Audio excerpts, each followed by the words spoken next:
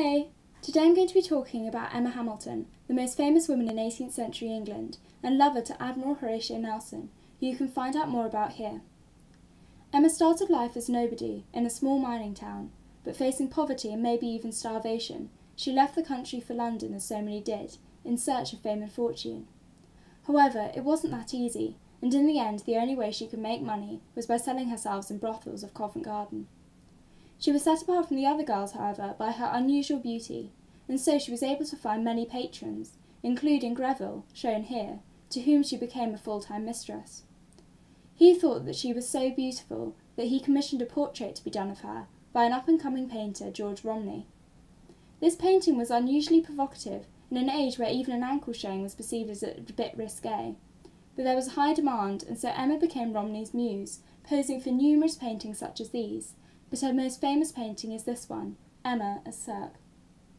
Greville was in serious debt to many including his uncle Sir Hamilton, and in order to pay off his debts he married a wealthy heiress. This left no room for Emma, and so she was sent to Naples to live with Sir Hamilton as his mistress, in part to pay off Greville's debts. A few years later Emma and Sir Hamilton were married.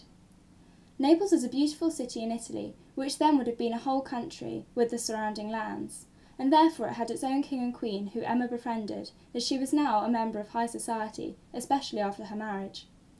When war broke out with France, Emma practically ran the country on their behalf, even organising the escape of the entire court to Sicily after the French invasion.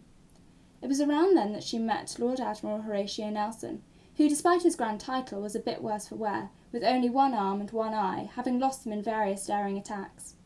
He swept her off her feet, and they started to have an affair.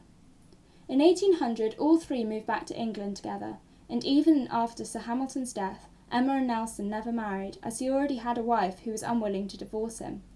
They did have a daughter, though, Horatia. Nelson died in the Battle of Trafalgar, please see my video here, leaving her penniless.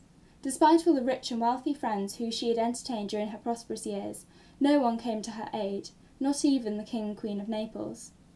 Emma had always tried to spend her way out of debt, but this did not succeed this time, and after a stint in debtor's prison, she fled to war-torn Calais and died, poor and alone.